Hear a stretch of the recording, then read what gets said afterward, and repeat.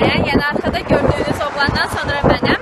Bungee jumping tarzanka, yəni insan iplə bağlayırlar və bu körpüdən aşağı atacaqlar. Çox həyecanlıyam. Yəni uşaqlıqdan bunu arzulayıram ki, bungee jumping edim. Gəlib Varnaya və buradan bungee jumping edib 60 levadır qiyməti.